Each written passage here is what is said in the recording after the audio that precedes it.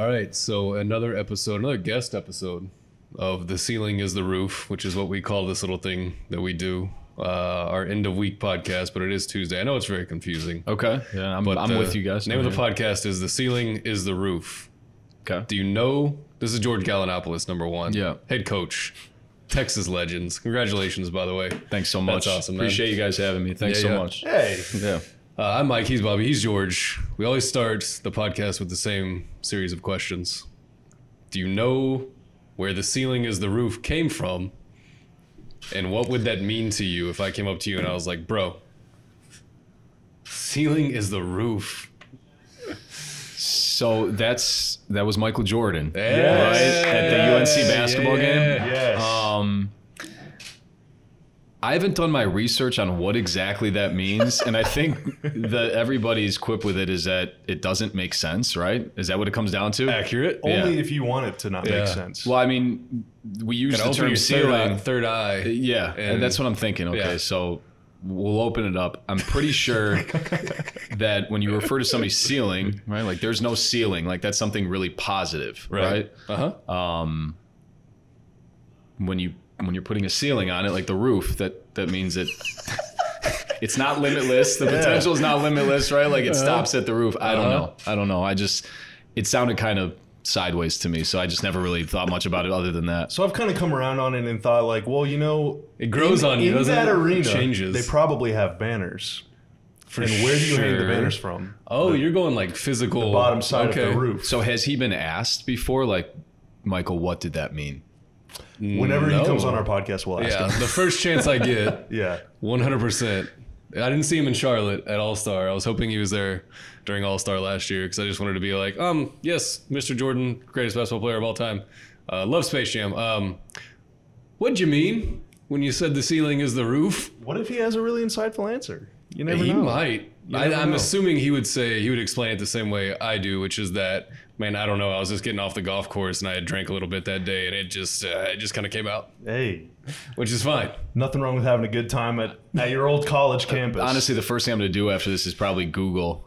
The ceiling is the roof. Has Michael been asked this question? Like, I'm going to do a little bit of research on it, get back to you guys. right, But- there you go. Yeah, so that's how we start every interview. Okay. is giving me and some people like get like really into it like they're like man get really deep and get all like inside the actor Isaiah studio got on you. into it. yeah isaiah had a decent explanation didn't Yeah, yeah, he he did. it doesn't mean anything I haven't lost too much sleep over it until now, but tonight you're gonna wake up yeah, at 2:30 tonight, a.m. tonight that's my Google. Tonight, so, the roof is the potential um, well yeah man thanks for joining us uh, welcome back down here i know you're Yeah. up in frisco now you moved moved and everything all settled in Not moved. So my lease up there will start in uh, a couple months, and Okay. then my lease, ironically enough, ends in Dallas in a couple timing. months too. Yeah, so I'll uh, I'll head out of here and up to Frisco and be there officially. But for now, there's still a lot to do here at uh, the Mavericks facility. There's guys working out. You Mm-hmm. know, Isaiah's in town. There's five or six guys also.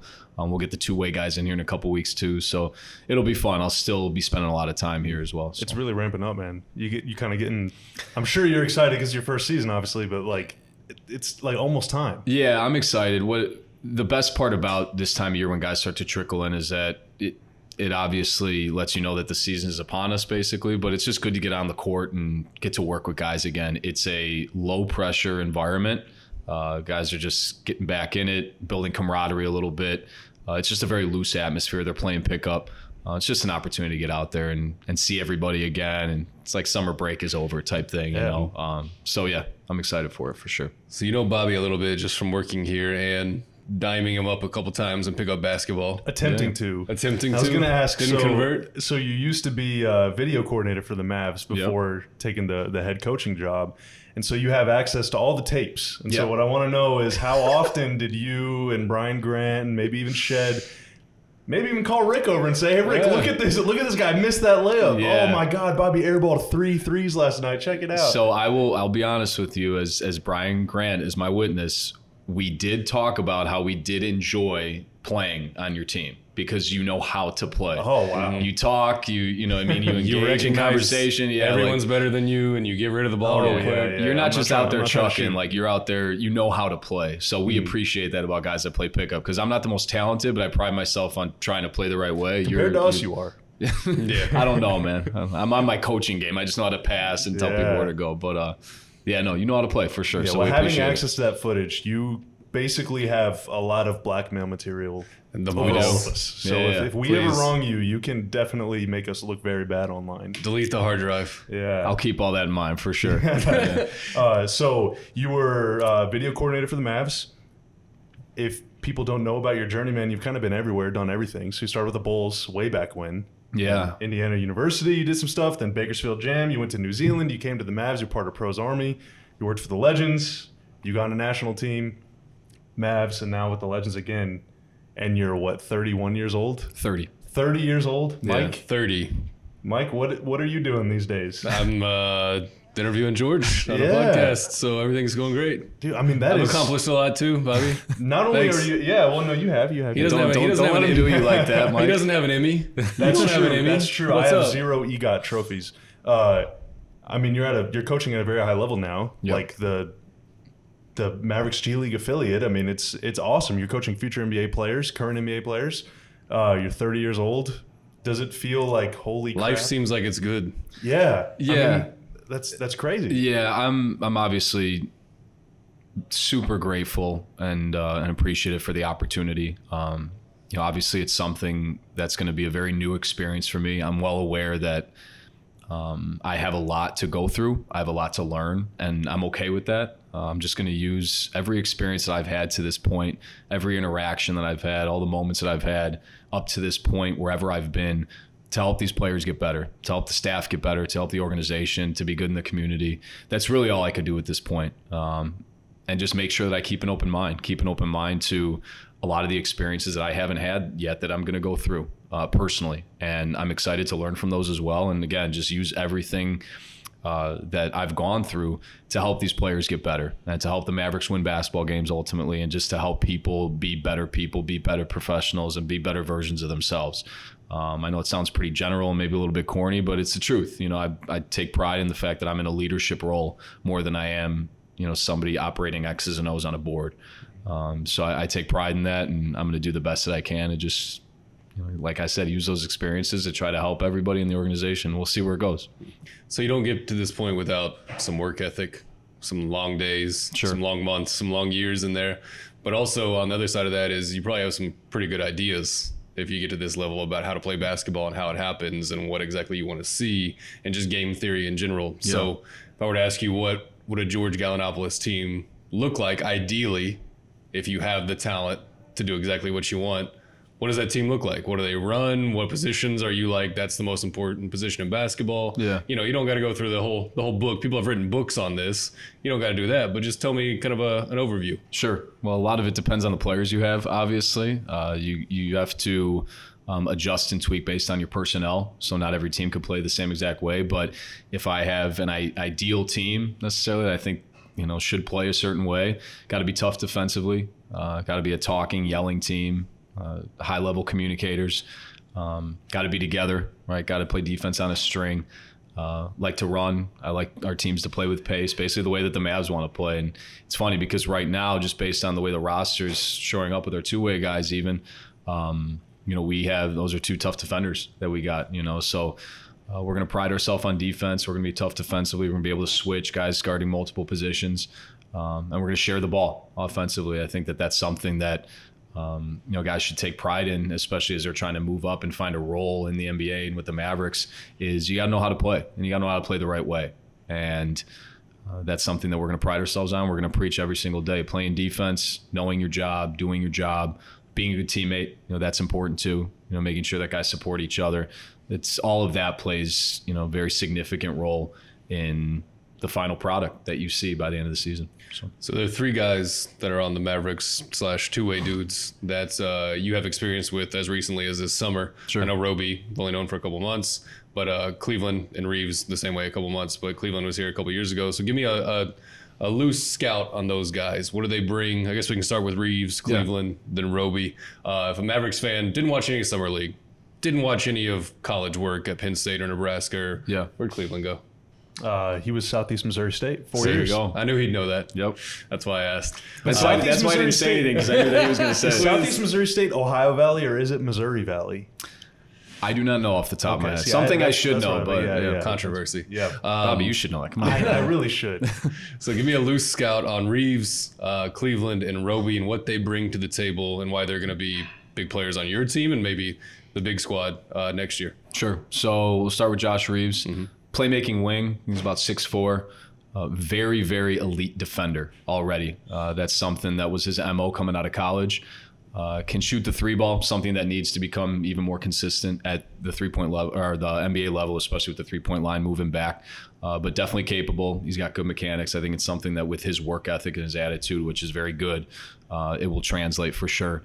Uh, one thing that really impressed me, seeing him in summer league and also uh, at Gerg's camp in Vegas a couple weeks ago, was his ability to play the point guard. Uh, he's got a natural feel for the game, knows how to play. Uh, some guys that are thrusted into that role uh, that maybe didn't play predominantly point guard in college or wherever they played might not know exactly how to play it, might freeze up. Um, you know, might try to play differently than than they're used to, but it was a seamless transition from. Him. He looked really comfortable, so you know that might be something that you see this year in certain lineups. Him playing a little bit of the point, handling it. Um, so yeah, playmaking wing, elite defender, great guy, as as are all the guys that we have. Um, Antonius Cleveland, you know, he's been in the league a little bit longer. You know, he's got a little bit more experience. I think 26, 27 years old.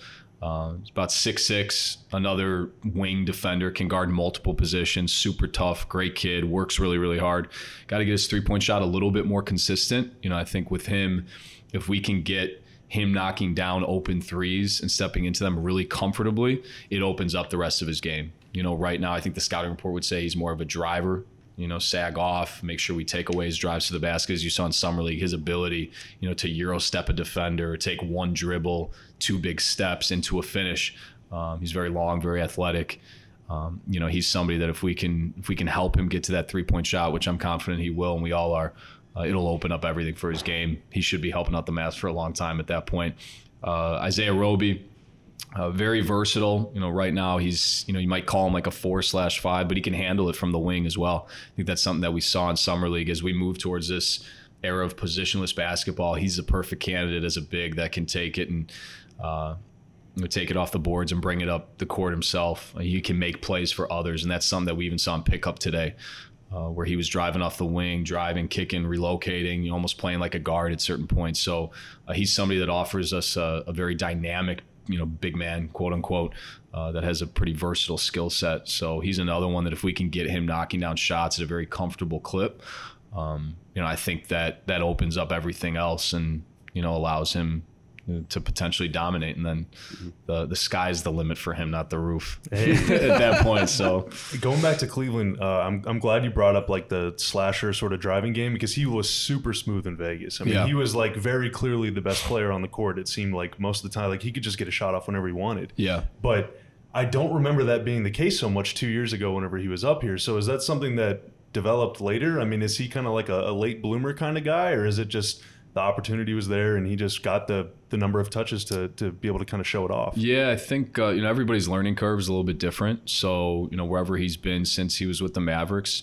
I don't know if those guys have done a good job coaching him. If they specifically have watched film with him about, hey, this is these are your spots and opportunities where you can, you know, cut. You know, he's a great offensive rebounder. He's got an uncanny ability to rebound the basketball and just, you know, some guys have a knack for where the ball is going to go. Um, you know, so he's a great offensive rebounder, like you said, moves well, cuts well. From the last time that we saw him a few years ago with us, he, I think he simply he knows how to play the game more effectively and he's just making better reads. So maybe that's something he's practiced. Maybe it's just naturally playing the game. He's gotten a lot of playing experience. He's played in the G League a couple years. Um, so he's gotten that you know high level game experience, which is really really important. And maybe he's gotten coached well too. Mm-hmm. You know, And Reaves too on draft night, that was one of the 61st pick guys, right? Where I'm leaving the arena after the second round, and you get the Woj tweet that they that the Mavs signed him, mm-hmm. and then he goes out and basically earns a contract in Vegas. It was incredible, but he went from in like two weeks, no one knowing who he was, to now he's like Mavs Twitter's favorite mm-hmm. player. Right. I mean, like, are you? He can I- dunk pretty cool too. Which Yeah, is, yeah, no, he's doesn't awesome. hurt. He's awesome. Uh, how quickly did he win you over? I mean, how, how familiar, I guess, even before that, how familiar were you with him coming out of college? I mean, had you ever seen him play? And then Yeah. once you get him on the roster, how excited are you now after watching him play? Be like, oh my god, this guy's kind of a badass. Yeah, I'd, I'd seen a little bit of him. I wasn't super familiar with him. You know, I I, I wasn't as involved in the draft because I'd gone out to Africa to coach the Uganda national team, and um, and then when I came back, it was almost like a lot of these guys had a clean slate. I was just coming in kind of blindly and just seeing, hey, you know, who's who's good, who's not. You know, what I mean, what what are these guys? You know, with no preconceived notion of who they were. Uh, and what stood out to me about Josh was that he's just a competitor and he plays so hard, and um, you know, especially defensively, he he's got these instincts that you just can't teach you know so just being able to come up with you know a steal here a steal there just be able to cut somebody off on a closeout that is that's really really hard to do for a lot of guys. Uh, he made it look easy at times. And he impacted the game on the defensive end in ways that a lot of people just can't. Um, and then offensively just he's got a swagger about him too. You know he plays so hard but it's not just blindly running around playing hard. Like he competes at a very like comfortable speed. You know, he plays at a pace that shows that he belongs, and that's something that stood out to me. He's got a little chip on his shoulder, but in a very healthy, good way that um, you know shows that he might he might be a player in the NBA, not just a two way guy for you know the next 9, 10, 11 years. Mm-hmm.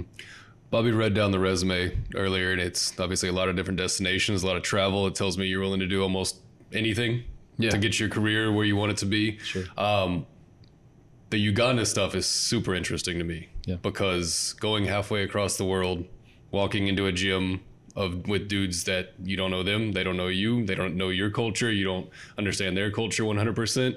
The one thing you have in common is this game that y'all are about to play. Right. So you walk into that gym with dudes you don't know, that don't quite understand each other's culture all the way. What do you say to them that's like translates to "Let's go, boys! Let's go kick somebody's ass"? Like, Yeah. what was your first like practice or meeting with that team like? Yeah, it was uh it was interesting. Obviously, you can you can prep for as much as you want as a coach. You know, I could write up a practice plan. I could write up what I want to do uh, that I think you know we're going to need to do in order to compete at that level. But again, you go through things, and the only way you learn is through the experience. So I had you know a ton of things on the first practice plan.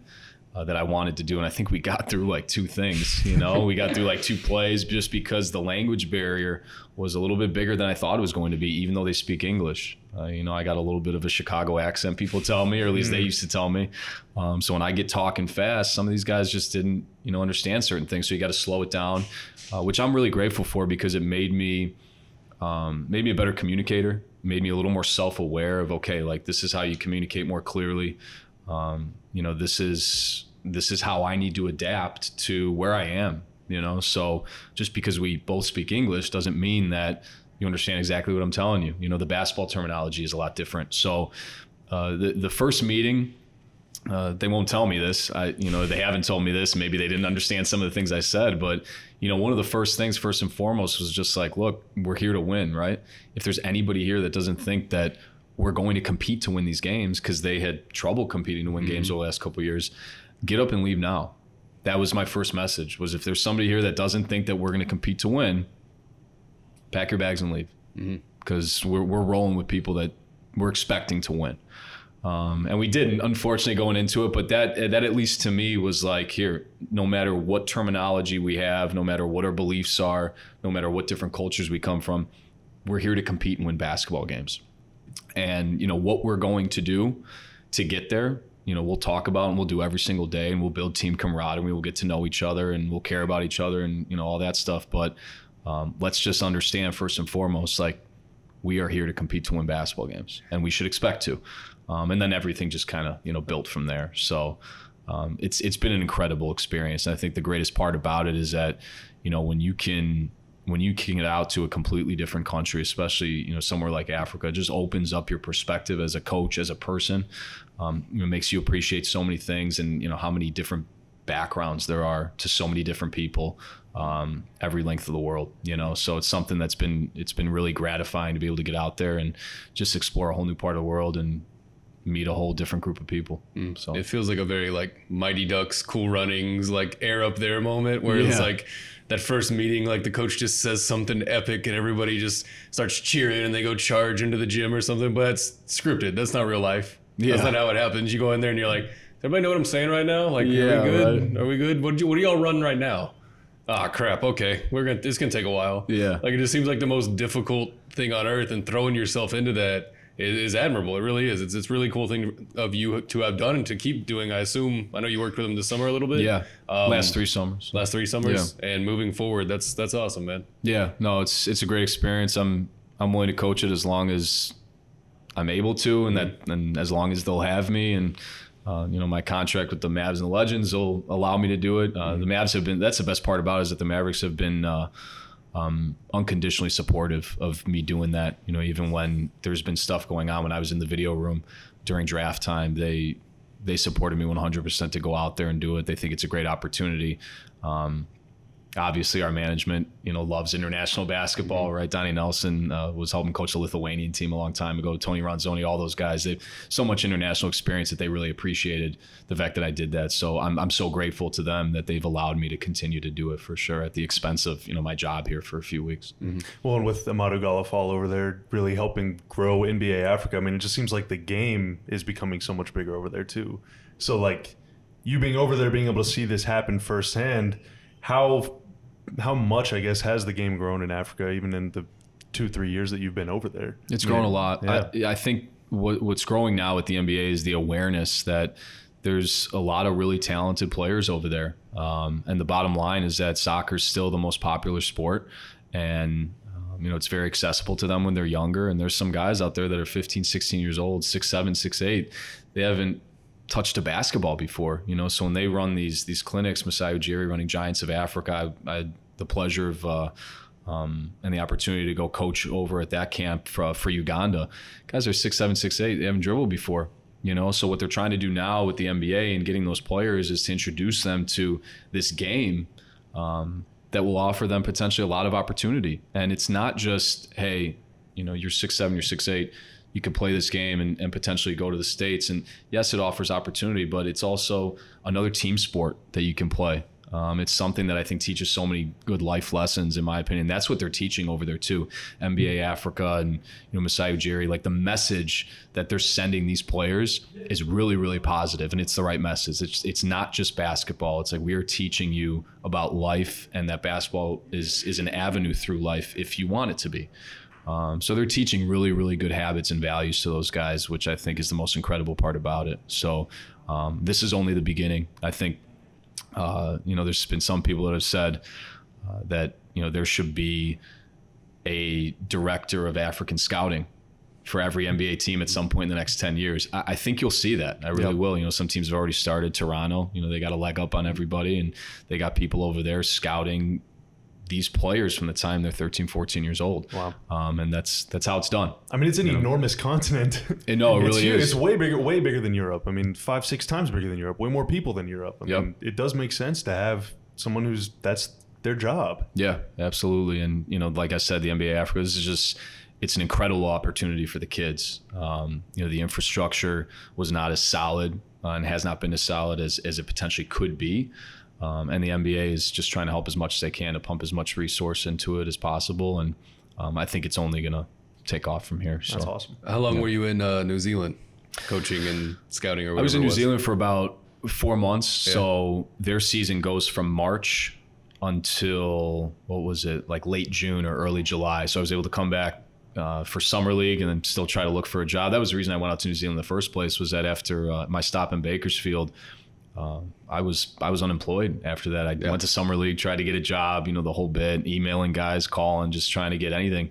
Um, and I didn't have anything by November. You know, a couple opportunities fell through, and I was unemployed, just you know, working guys out and trying to find an opportunity back home in Chicago. And then this New Zealand opportunity came up, and I said, "Screw it, why not?" You know, what I mean, I think it'd be pretty cool opportunity to travel the world. Heard good things about New Zealand. Um, yeah, I was there for about three, four months. I'd love to go back again, not coaching basketball, just Yeah. kind of explore.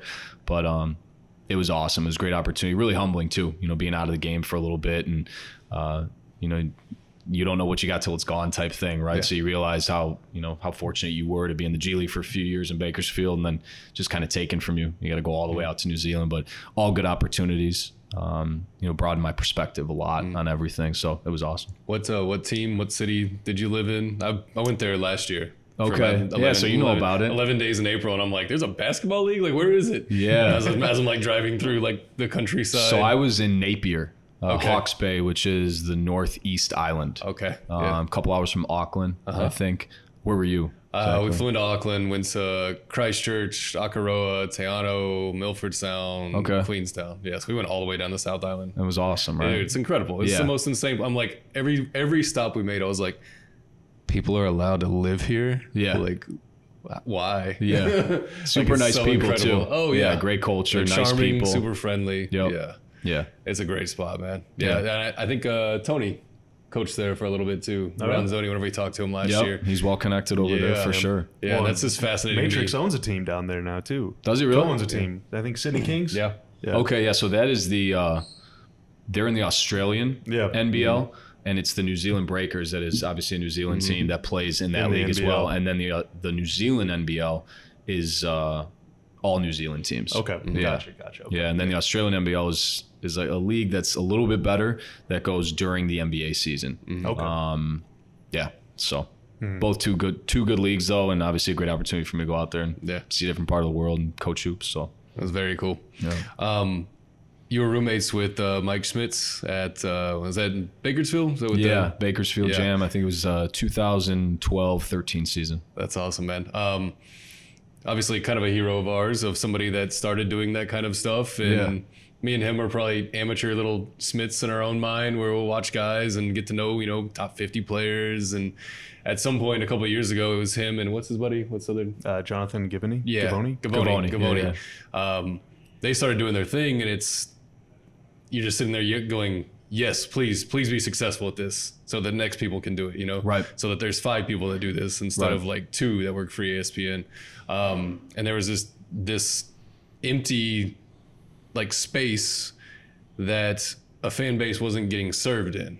And it was people that wanted to know about the draft but didn't want to hear about it just on draft night Right. you know, just Bill Simmons talking on draft night about what the Celtics are doing and not really covering or giving you any kind of insight of the players besides just reading one paragraph on them. Yeah. And so Schmitz and Gavoni started doing Draft Express, which I'm sure everybody that's super nerdy about basketball was into. And now it's, you know, they are what they are. They're they're a staple of ESPN. They're huge from I guess probably February until like last month. Well, Schmitz never stops too. Yeah, man. they never He's stop. They're Europe right traveling constantly. Yeah. they're all over the world, like scouting kids. And uh, did you did you think at that time like this guy's gonna be, he's gonna do this, he's gonna make a career of this? Yeah. Yeah, I, I, I did. And there's a couple reasons why. One, I believe in good, hardworking people, and he's an incredible guy, one of my best friends.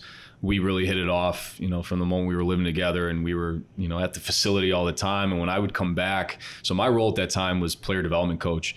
So I handled all the like the late night workouts. We had a private facility at the time, so you know, guys sometimes would come in do late night shooting, ten to eleven o'clock, whatever. Um, I'd come back at like 11 p.m. sometimes, and, and Schmitz would be in his bed after being the assistant video coordinator for the Bakersfield Jam, sending videos to Gavoni. He was also working for Draft Express on the side. Um, you know, his eyes would be bloodshot red on his bed, just like doing these, and he'd be doing that until like two, three in the morning. So he was basically doing two jobs, and he was doing it like full force, sleeping like four or five hours a night. Wow. And he was talented too. It wasn't just blind hard work. Like he he was talented. It was a strength of his. Um, no pun intended with the strength, strengths and weaknesses video. But uh, the the Weakness thing, sleep. yeah, exactly. Just get the hip hop track going in the background. Right. we'll just- no, but he we'll do one. the the best part about him was that you know there, there's a work ethic and he you know he and I both I call it young and dumb or naive but like we just both believed that we were going to do this you know we believed that we were going to make a career out of it but there were no shortcuts for it and that's the best part about him was there was no shortcutting like I saw every single day what that kid went through working two jobs and the assistant video coordinator job at that uh, at that time was not an easy job either. So he was working, you know, 18, 19 hour days, um, sometimes not sleeping at all. And Jonathan offered him full time to be with Draft Express a year later, well deserved, obviously, and, and the rest is history. But it's just like any other success story. People see, you know, where somebody got to and what they don't realize sometimes or take into account was what they went through to get there. And I, this guy's one of the hardest workers, maybe the hardest worker I've ever been around in my entire life. And he hasn't stopped. He's still everywhere. If you follow his Twitter, he's always in a gym. Uh, he's always he might look like he's in like a middle school gym that's empty, right? Yeah, he's watching like, like, second tier Finland. yeah, like all right, 13 year old. Latvian kids. You know what I mean? Like, but that's that's why he knows. Anytime I've got a question about a player, I'm asking Mike, and he knows like their background, their family life, and we're talking about some like obsolete names sometimes.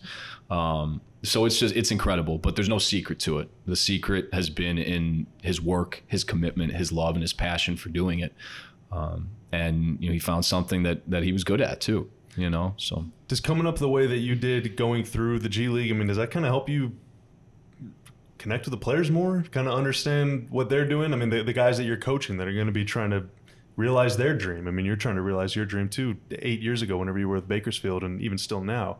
Um, does going through the same experience that they're going through kind of help you sort of understand or relate to them maybe more than you would if you were just whatever an assistant coach at the NBA and then you came down to coach the the G League team? Yeah, I, I hope so. You know, I, I would never use what I've done to my advantage in a conversation with a player um, to say, "Hey, I've gone through this, so you should listen to me." You know that that's never the right approach, um, and I, I don't believe in that by any means.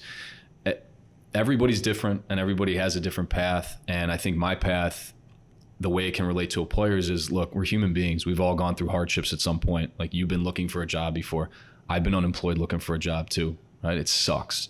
Um, you know, here's here's how I got out of it. You know, I at the end of the day, you got to stick with it and have an unrelenting belief that things are going to work out. Like just for example, if if I can give that message to a player and help him believe that if you just stick with the process every single day and believe in, you know, where you're going to be and how to get there, um, and your approach every single day to it, you know, that's a win in my book. You know, hopefully that's where I think we can relate to each other as far as our paths. Um, it's different coaching and playing, obviously, and um, there's, you know, we tell players all the time as coaches to be really patient.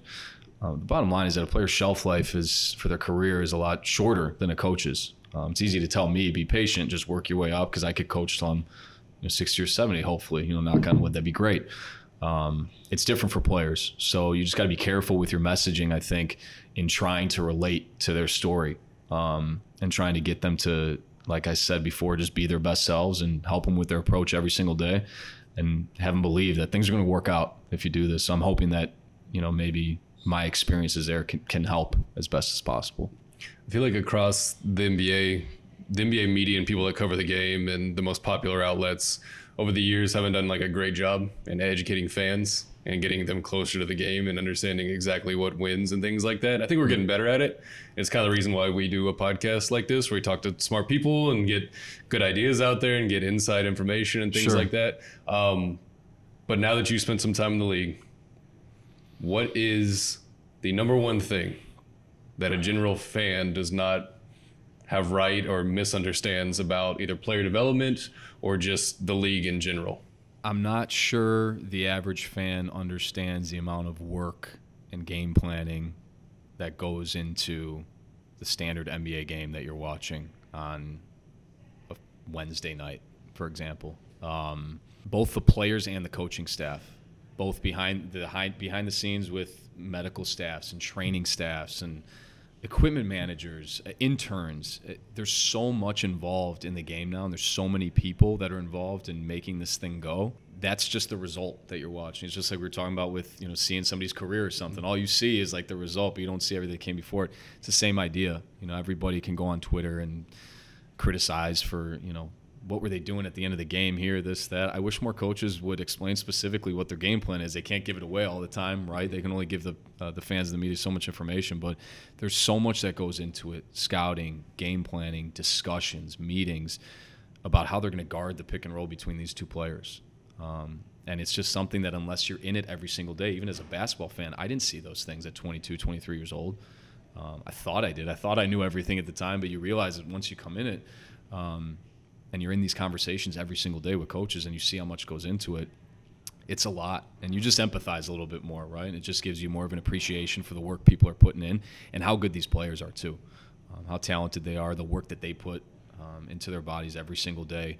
You know, these guys are incredible. They're pros, you know, and it's it's gotten to the point now where it's it's not like it was in, in the 70s where they would just take off for the summer maybe you know where there's now everybody's got a trainer and now we have so much more information. Oh, it's workout season right now. On Um, yeah it's workout yeah It's there you go. season. yeah exactly you know guy, guys are going vegan now right? Because there's more information resources about how you should eat and how you should take care of your body. It's it's amazing the dedication um, across the board from so many people in this industry now um, and that's just what I wish maybe some people would would see and maybe just appreciate more Working under Rick for a couple seasons.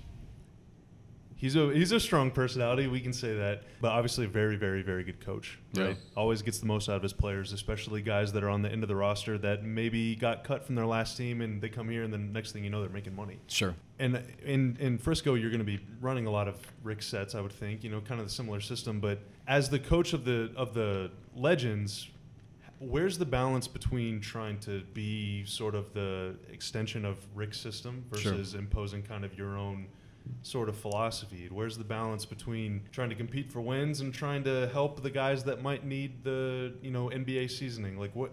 How do you juggle kind of like coaching to win, coaching for yourself versus trying to help the Mavericks? Yeah. Well, first and foremost, it's you know, the experience for me personally is going to take care of itself. I just I believe that, um, and and that's what it is. I honestly don't really think about that as far as how it's going to help me in this great opportunity. We talked about it. You know that that's what it is. My approach to this and our staff's approach is going to be development and being under the Mavericks umbrella.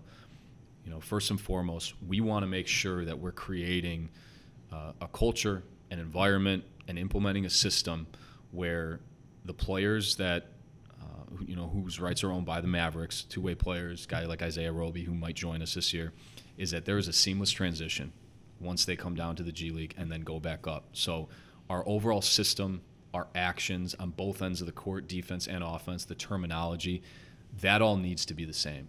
So that if they come down and go back up, it's been a seamless transition down and then a seamless transition back up. Um, we obviously cannot run as many plays as the Mavericks do because of the continuity of the roster. So there's just less things that you can actually implement um, because of how fluid it is and the roster turnover and the change. So you want to keep it more simple for guys. But as far as the system's concerned, the structure, how we want them to play, that's going to be the same and the terminology as well. So that's the key. But you know, the the great thing about uh, you know being the head coach and making decisions is you know do I have to run every single one of Rick Carlisle's ATOs? Not necessarily. Um, I don't have to at all. I don't think he's, he hasn't told me yet, right? But um, you know, if I see something I like in the Mavs game, I, I might use it. If there's something I've seen somewhere else, um, you know, it's been used against us in Uganda. You know, I, I could use that, you know, to get a bucket out of a timeout. Um, a lot of it depends on our personnel and who we have on the court. At the end of the day, since it's all about development, the way that um, you know you create an environment that fosters the development of these players as best you can is to put them in position to succeed. You know, we're not going to have the same exact players as the Mavericks, uh, but we're going to try to develop these guys in such a way that will further their careers, either help the Mavericks or for these other G League guys that are free agent for 29 other teams. You know, hopefully somebody calls them up. Um, you know, that's the luxury, obviously, of having the G League contract and um, you know being a free agent for 29 teams is anybody could pick you up at any time. Um, but being here with the legends, it offers you know more eyes from from us in this organization on those guys. Um, so we're just doing our best to develop those guys, and, and we'll see what happens after that. Can you watch a game like in real time and see a team come down and just kind of you're diagnosing where the five guys are going and you're going, oh crap, they're about to run this play on us. I know my guy can't defend that play very well. Uh, nothing I can do about it right now, but next time down, I'm going to correct it. Like, is that how you in real time can watch a game now that you're at this point in your career? Like if I'm actually the head coach in yeah. a game, Yeah. Um, And I know it's kind of new being a head yeah, you know. No, so what I learned uh, in my experience so far in Uganda, obviously a much different level. It's a different game, the Mhm. international game from the G League and NBA game. Um, there's a lot going through your head when you're a head coach, and you, you what I what I've always told people is that I always thought that being a head coach would make me just a better head coach, but what it really did was make me a better assistant coach as well. And I think that's going to help me even more being in this head coaching role. Um, is it makes you a better assistant co- assistant coach. It makes you realize what information you should give the head coach um, because there's a lot. You know, The game is so fast. the game's going fast, man, and that's why you just watching film is very very important you know to watch games you know the first game i watched i remember i, I almost like blacked out and i was like wait what just happened in that game right we had blown like a 25 point lead and you just forget all these things it's moving really fast but when you watch the film afterwards it helps you reflect and it brings you back to what was going on at that moment. So the more you do that and the more you put in you know the focused concentrated work um, after the game to watch film and then apply what you saw learned into the next game then that's where you become better as a head coach as long as you keep an open mind and you really try to learn and focus. Um, so there's there's a lot that goes into it but i've i've obviously gotten better with the experience um, it's only been i think 10 international games that i've coached but you know you get better at each one and the last games that we played this year are are most clear to me than the ones two years ago you know naturally so hopefully I can just use that experience to, to help with this. And it's great to have great assistants too, mm for sure. And that's what I was getting to with my last point is we got great assistance with the legends um, that I've had great conversations with. And once we get into the thick of the season, they're they're going to be awesome to help me. It's this is something I can't do by myself. Any coach that says they can do this by themselves is they're, they're wrong. They just can't. It's it's it's really difficult, and it's great to have a very valuable staff. So I'm thankful for that. We got a great staff with the Legends. When does camp and everything start for y'all? So I know like the season starts first week of November. I think November eighth. November eighth. Season yep. opener. So camp will be after preseason because guys that are trying to make NBA rosters that might get cut or whatever will sure. will pursue a job with the G League team. So are you involved in training camp with the Mavs too? And then legend stuff picks up, or what is kind of your October looking like? Yeah, so I'll be involved with Mavs training camp, which will start, I think, October 1st is the date. Um, and then our draft, the G League draft, is October 26th, and then our training camp starts October 28th. Uh, so by that point, you know, everything will kick into full gear and, and we'll be ready to go. Mm. So. What you were explaining is uh, from my end, whenever I was growing up, started working in restaurants they made you work every position. Yep. For like a day or two, right? If you're going to be a bartender, you're going to be a line cook for a day. You're going to wash dishes for a day. You're going to do food prep for a day, just so you know how everything works together. And when right. we're talking about being a head coach because it makes you a better assistant coach, that, that clicks in my head of like, I know exactly what that guy needs right now. Right. He needs me to tell him that, you know, such and such might need to come off the floor. He's been slow up and down the court the last two times, that right. type of stuff. And I can see how that can make you a better head coach.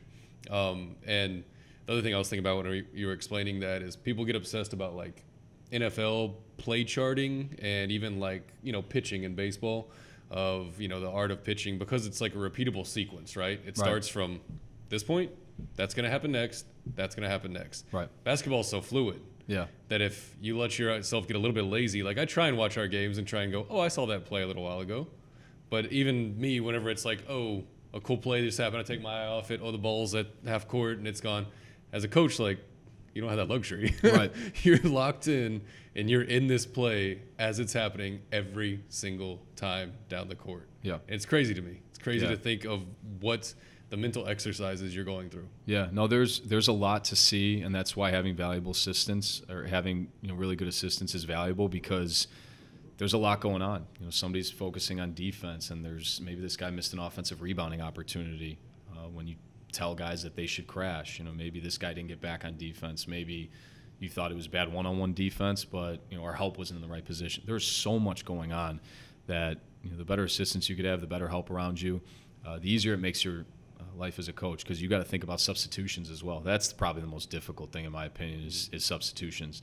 Um, because at the end of the day, too, some guys might not be happy that they were only in for three minutes. You, I honestly forgot one of our players one time, like one of our better players on the bench during one of our games. I'm surprised nobody caught it and you know, uh, you know, wanted to fire me right then on the yeah. spot with Uganda. But uh, it just happens sometimes. You realize like, you know, you make mistakes, and you know, I, I anticipate this year making a number of mistakes. Hopefully, you don't make the same one twice, but uh, you just hope that you know you keep working you prepare as best you possibly can you got the good people around you that are going to help you as best you can and like you said doing everybody's job that's one thing i'm really grateful for with my journey up to this point is that i've been an intern at the absolute lowest level just you know running around rebounding wiping up sweat doing laundry uh, you know driving the team van back in bakersfield um, being a video coordinator being a player development coach in the g league an assistant coach having all of those roles um, I think will hopefully help me be a better leader for those people in those roles um, and just better communicate to them maybe how things should be done. Um, you know, talk to them a little bit more about how they can be helpful. Um, also, just empathize with them and what they're going through. And you know, maybe there's somebody too. Coaches are human beings too. Maybe there's somebody that needs a pat on the back. You know what I mean? And you're focusing too much on the players. Like that's that's where you got to see a lot of this from so many different angles as a head coach. Is you're leading a group of people. Um, that's something that I take a lot of pride in, and and hopefully I'll be able to do an okay job at it, um, or as best I can, at least having been in all those positions. Um, mm-hmm. You know, up to this point. So as as best that I could be of help to these people, I'm I'm shooting for that. So what's the uh, to you? What's the most underrated skill in the NBA? I think I have a I have an answer, and I'll see if you you agree after you. Underrated skill. Yeah, like NBA. obviously people understand like okay, yeah. that guy's got a crazy handle, that guy's crazy shot making, like yeah. difficult finishing. Um, but people kind of know those, right? Yeah. What's the most underrated thing that you're like, I don't know how this guy's getting it done, but it's got to be this thing.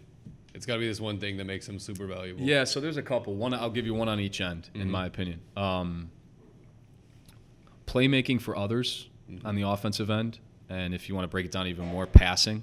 I think passing is is, is a really underrated skill, um, and it doesn't need to be the flashy pass, the simple drive, read defense, and kick. It sounds really really simple, uh, but there's a lot of guys that just have blinders on when they're driving to the basket because they're looking to score, mm-hmm. uh, and they just don't see defense, not dribbling with their head up, whatever the case may be. Well, and how the ball um, gets to the guy they're passing it to, right? Like, exactly. You can, you can, make the right read. Yeah, yeah exactly. You know, the, it's not in the pocket. yeah, matter. not it's so it's making the read and and executing at the end of the day, uh, which is what basketball is and sports is. So uh, that to me is an underrated quality. How to play, you know, see if a guy knows how to play the game. Is he making the right decisions, making the right reads, and then executing the play? Especially in today's game where it's so random. You know, it's not as scripted as it once was. It's more mm-hmm. off of actions and um, you know reactions as opposed to here's our set play. Um, and then defensively, guarding a closeout. Uh, I think that especially nowadays with the way they're playing offensively, spreading the court. Um, everybody now has range from it seems like 30 feet, right? So it's spreading the defense out real thin. Um, guys are getting into the paint and creating long closeouts. As an offensive teacher, you want to teach the guys, at least in today's NBA, we want to create an advantage. The first advantage we can create is a drive, kick, long closeout. Guys that are able to guard those long closeouts are really, really elite. To be able to get a guy off the three point line potentially and stay in front of them, I think is one of the hardest things on defense. Maybe the hardest thing defensively. Uh, that's why you see guys just getting blown by, and you know if you can get that initial drive kick, it's so hard to close out to a player. Um, Who's a guy, or maybe a couple guys that you know that does a really good job of that, so that we can watch them? Yeah, so, so we know what to watch for. You know, whenever we're watching a game. Yeah, so Dorian. I think Dorian's pretty good on it. Dor- Dorian's very good at moving his feet. Josh Reaves is somebody that we saw a little bit of that, you know, being able to cut guys off. Um, Maxi got a lot better at it last year. And So Maxi's known for his rim protecting, mm-hmm. but I think specifically his closeouts got a little bit better last year. Dwight Powell is somebody whose closeouts have gotten a lot better, uh, and he's he's a bigger guy, right? So he's had to work a lot at you know get, getting blown by guards, right? you know what I mean? So um, yeah, there's there's some elite defenders. One guy I remember seeing last year who's really good at it, who's not on the Mavericks, is uh, well, he was at one point. Al-Farouq Aminu. Oh yeah. he was with the Blazers, right? I think Magic Chief. now. Magic yeah, he's on the Magic. Um, he's a guy when I was looking at players closing out. He's obviously a very versatile defender. He was great at it. You know, super long and just being able to move his feet the right way. It's a technique thing. Um, you know, more than it is, I think, maybe anything else, but just the, the ability to be able to do it. It's really, really difficult, and it's an underrated skill for sure that a lot of people don't realize. One thing in the playoffs last year that I was like, I don't know how this guy is playing so many minutes and so effective. And uh, having a couple different series, but it's the guy that stuck always sticks out to me in this regard is uh, PJ Tucker in terms of strength. Yep. Like I watch and I'm like, how is that guy so effective defensively? And how does he, you know, create space and still get a shot off and do whatever he wants offensively a lot of the time? It's strength. And right. I feel like Dwight's become like a super freak in that that regard of yep. just, you know what, my body's not going to be the reason I'm not, you know, getting the places I want to get. And I feel like he handed that down to Maxi. And Maxi's like gun show last year, and now all the guys are like might be glory muscles, but uh, you know it's still it's still strength overall. Yeah. A lot of the dudes, I'm like when I watch PJ Tucker, I'm like that guy's not that big of a person. He's not you know bulky. I feel like his core and his like his butt and his hips are so freaking strong. Yeah. That you can just knock anybody off their path, and you're not fouling them. You're just stronger than they are. Right. you're way sturdier.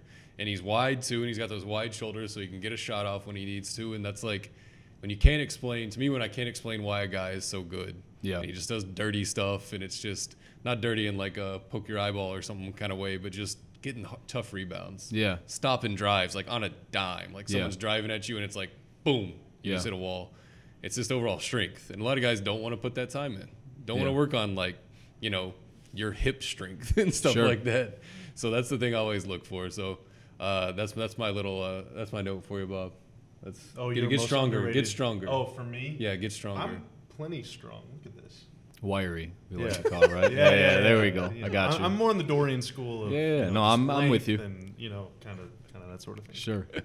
Um, which uh, which guy in the Mavs roster is going to surprise people this year? Have kind of a blow up blow up year. Seen Jalen Brunson work a little bit this summer. Um, we're seeing you Yeah. uh, back in Lincolnshire, uh, the old stomping grounds. You know, we both went to Stevenson. I don't know if this is a biased point of view, but uh, I was there helping him with his camp. We're both from the same hometown, like you said, same high school we went to, and uh, just to see his work ethic every single day, you know, his professional approach that he takes. Obviously, we got a lot of new players this year. Um, you know, it remains to be seen how minutes are going to be allocated and whatnot. But but he's somebody that nothing that kid does is going to surprise me. He works really really hard, and a lot of the guys do. I don't mean to single him out. I've just been with him. I think the most this summer, or seen him, um, and he's he's somebody that you know he could he could be an all star in four years, and it, it won't surprise me just because we've seen, like we said, the work underneath all the success. You know that a lot of people don't see. So. Um, I think Jalen for sure take care of his body. He looks bigger. He's stronger. He's faster. He's been in the weight room a little bit. So um, Spending a few weeks working out with Team USA, that'll help too. Just No question. Exposed to that level of kind of competition. For sure, and the thing is, you you know, if you if not only if you're exposed to that, but if you go there and and you do well, um, that builds confidence, and obviously the confidence comes from the work. But when you have those moments, whether it's you know a breakthrough moment in a game or a breakthrough, you know, two weeks that you spent with Team USA, just to have that confidence that you did well uh, is everything for a player. Obviously, you can't just go somewhere and get confidence. It, it comes with the work and the proper, smart, hard work. Um, and Jalen's done that to this point. But you know, hopefully, the experiences that he's had, uh, he's super humble. But you could tell he's got a little chip on his shoulder a little bit. Like he, in between the lines, he's a competitor. He knows like that he belongs, and not just belongs. He he knows that he's got you know an extra gear. Again, you know his ceiling is not the roof. I think it's Yes. I think it's a little bit higher than the roof. That's the second time we've made a reference. to it, so I like it. Yeah. Two for free. Yeah, Absolutely. there you go. What's your uh, Portillo's order? Italian beef.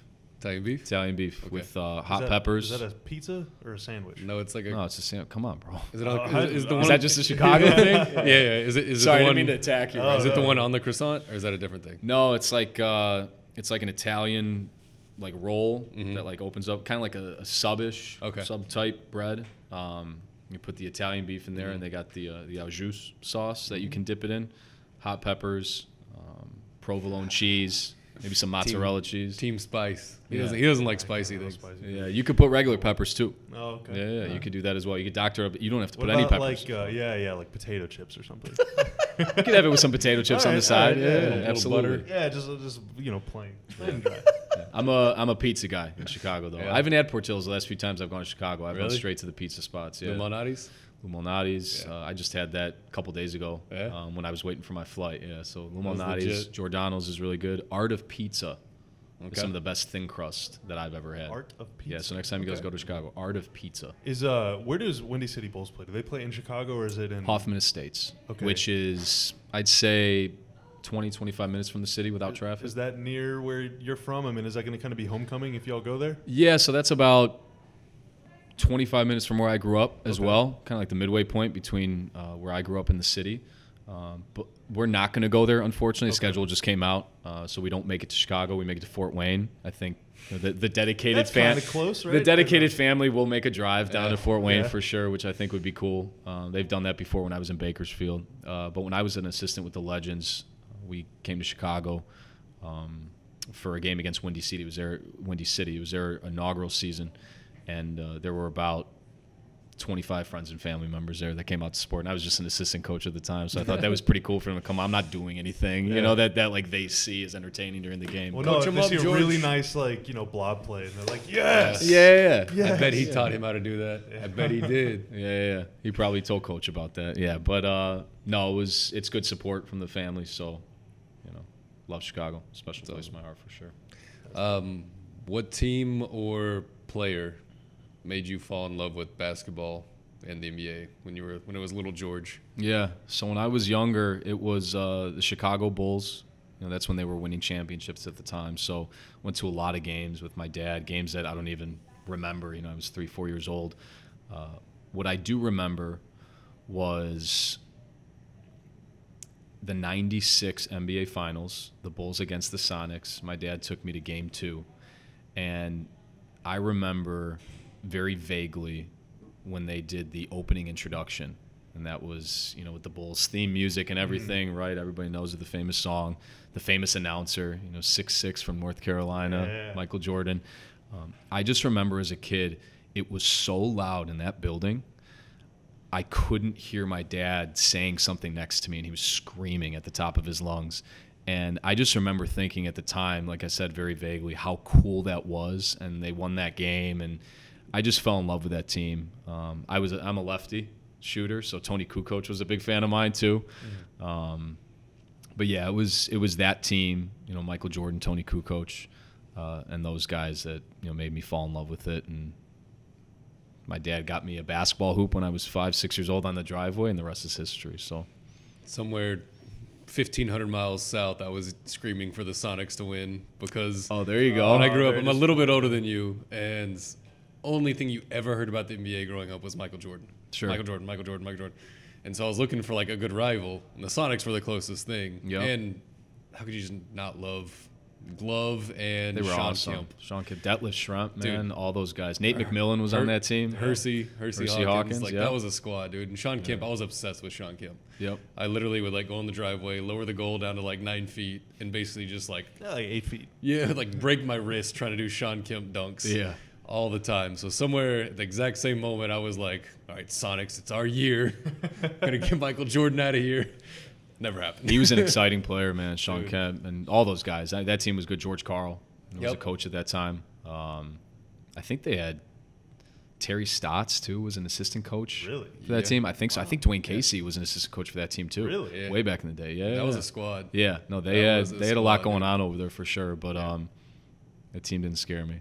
Didn't, didn't, they can't They scare the shouldn't Bulls. have. No, no, no. They shouldn't have. Yeah. they really shouldn't have. Yeah, now when you got Not when you Jordan's out of yeah here. now when you got Not when you got Jordan and Pippen and Kukoc Yeah. and all those guys, I mean they were that was an exciting team. That was an exciting you know eight year stretch, Oh, whatever yeah. it was. Um, so, yeah. Absolutely. Was that after the Jazz series or No, it was before. Before, okay. Yeah. I definitely remember being at my grandma's house and watching him push Bryon Russell straight off, and I'm sitting there screaming at the TV, like, "No, On the last shot, no!" Yeah, yeah. The Jazz. I may uh, I might be being biased, but I've gone back and watched it a lot.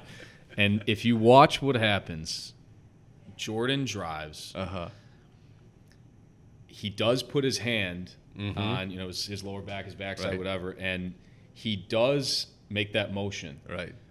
But it really was the crossover Yeah. more than anything that made him slip and not be able to recover. I've watched it a lot. I'm When you- when sticking. you I'm cross sticking over to one it. way yeah. and push. yeah. Yeah, someone might Not strong enough, though. Not Yeah, strong I, I just enough. don't know. Yeah, that's not Jordan like Russell's you a know. big dude. He's a big when you dude. when you Yeah. stop on a dime and you also push the opposite oh, direction, you're basically you're basically doing what It was one of those. you're basically doing what James Harden did to West a couple years ago Oh, on that that's that game winning He his possession when he, he like was holding on to like this and he like threw him forward and then stepped back. I was like that was But we're not mad about that anymore. no, not upset about it at all. deal. Not upset. I didn't, I didn't care about the Jazz. I cared about the Sonics, but I was like, Jordan's gonna get his. well, that's awesome, man. You got any more questions Uh, for no, our that's man? it, man. We That's appreciate great. your time. Good Yeah, luck this thank you season. so Awesome much. time. Camp is starting soon here in October, and then season opener, I believe, November 8th, and then 9th is the home opener. It's There a you go. back-to-back to open the season, Memphis Hustle. against the same team. Yeah. The G League schedule is an interesting schedule. Yeah. it just is what it is. You got to roll with it and take Yeah. it day by day. A lot of home and homes, a lot of back-to-backs, and all Yeah, that stuff. and we're But flying commercial, uh, unlike the NBA. So we can't fly out that night. We got to take those those early, you know, 5 a.m. flights. So the day of the game. The day of the game. yeah. Every Really? Yeah. So like we're, we're gonna play the Memphis Hustle uh, on the road, you know, at their place, and then we're not able to take that late flight because there's no late flights like Yeah. that. So we're gonna end up waking up probably at you know 3:30 in the morning, getting to the airport, and Yeah, then they're just gonna sleep, and Yeah. we'll run it back You're and play be it on the again. same flight with them on the way back. You think? I don't know. Would that be awkward? That'd be a little weird. be kinda I think cool? everybody will just be sleeping and delirious Yeah. anyways. So Yeah. Like, "Eh, whatever. You got me last night. yeah, okay. So every time we're on the team plane, just take a photo and send it to George, Oh. so he knows. the fr- of the free food and you know the first class seating and Humongous everything. Yeah, yeah. A nice piece of fish, George. Yeah. I'll, I'll, I'll show it to the players. This is what you guys are working towards. yeah, right here. be taking Someday you can be like these guys. Yeah, like Bobby and Mike. As Dwayne's like sleeping on my shoulder next There to me, go. like that's awesome. Well, uh, make sure and get up to Frisco. It is super entertaining. Yeah, to go those to are a lot of fun. Go to a. Legends Those game. G League games are so much fun. They're So- going to be a really good team this year. Um, if George is at the helm, I trust that guy. He's awesome, and we got some really good players. Reaves, maybe Roby stops down there for a minute. Uh, AC, AC He's is awesome. super exciting to watch. So make sure everybody that's listening get up to uh, Frisco for at least a couple games. It's the future of the out the team, man. It's Really the is. future of the team. Yeah, that's awesome, man. Thank you so much for your time. Thanks for the support. Yeah, brother. Appreciate you guys. Thanks so much Good for to having see me you on. again, man. Thank you. Yep.